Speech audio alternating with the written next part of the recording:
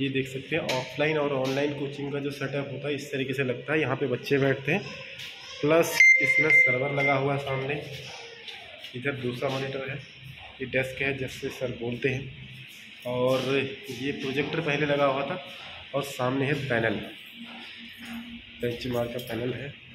और इसके साथ एक सीपी भी अटैच कर रखा है, जो कि हर तरीके से सर ने सेटअप अपना बहुत ही बेहतरीन करा। Thank you